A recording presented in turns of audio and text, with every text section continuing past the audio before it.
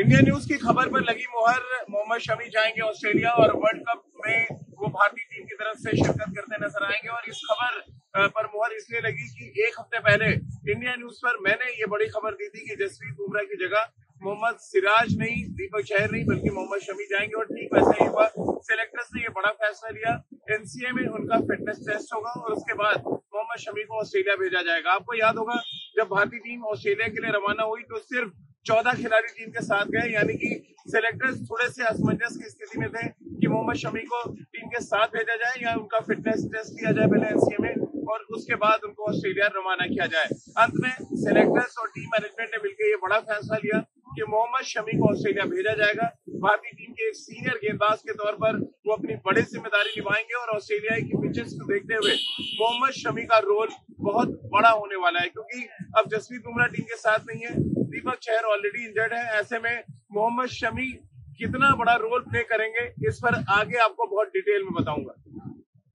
मोहम्मद शमी उन गेंदबाजों में से हैं जो गेंद को हवा में दोनों तरफ़ स्विंग कराते हैं और ऑस्ट्रेलिया की पिचेस जहाँ पे बहुत हार्ड सरफेस आपको मिलेगा और उस हार्ड सरफेस में अगर आप बॉल को हिट करते हैं तो आपको अच्छा बाउंस मिलेगा। और मोहम्मद शमी के बारे में वर्ल्ड क्रिकेट जानता है कि उनसे बढ़िया सीम पोजीशन और जिस तरह से उनका बॉल लैंड करता है बीच में, वैसा कोई दूसरा गेंदबाज नहीं कर सकता। और इसी वजह से मोहम्मद शमी को पहली प्राथमिकता दी गई टीम मैनेजमेंट की तरफ़ से भी और सिलेक्टर्स की तरफ़ से भी।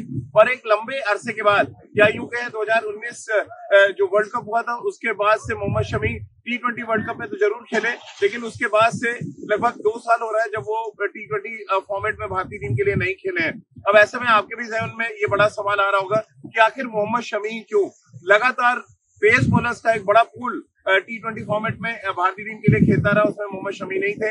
लेकिन अचानक मोहम्मद शमी को बुलाए जाने के पीछे सिर्फ़ और सिर्फ़ बड़ी वजह है कि उनका अनुभव और साथ में ऑस्ट्रेलिया के वो पिचेस जहाँ पे वो अच्छी गेंदबाजी कर सकते हैं। विरोधी बल्लेबाजों को अपनी स्पीड और अपने बाउंस से तंग कर सकते हैं और खासतौर से आईपीएल के मैचेस में गुजरात के लिए उन्होंने जिस तरह की गेंदबाजी की पहले छह ओवर में, उन्होंने विकेट निकालने की क्षमता दिखाई और ये बहुत ज़रूरी है।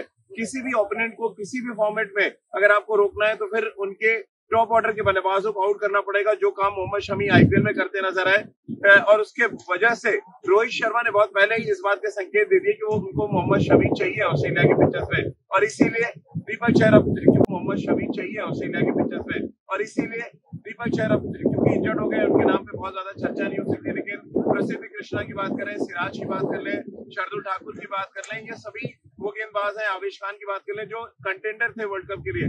लेकिन अब ये पिक्चर बिल्कुल पूरी तरह साफ़ है। इंडिया न्यूज़ की खबर पे मुहर लग चुकी है। मोहम्मद शमी अब से तीन दिन के बाद ऑस्ट्रेलिया रवाना हो जाएँगे। ए, उनका उससे पहले फिटनेस टेस्ट होगा। यानी कि अब ऑस्ट्रेलिया में वर्ल्ड कप जिताने की एक बड़ी ज़िम्मेदारी मोहम्मद शमी के कंधों पर होगी।